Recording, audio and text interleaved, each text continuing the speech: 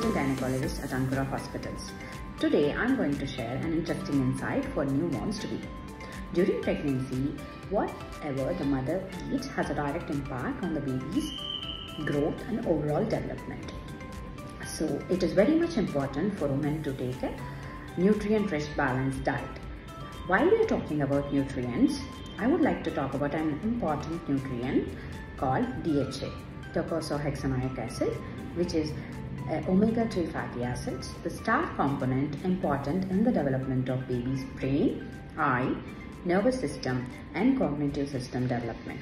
Research suggests that DHA decreases the chances of preterm births and hypertension in the expectant mothers. So how would you know that your body has enough DHA?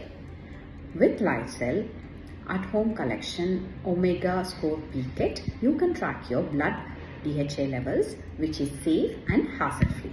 Advise all expectant mothers to track their blood DHA levels to ensure the well-being of their baby and their results.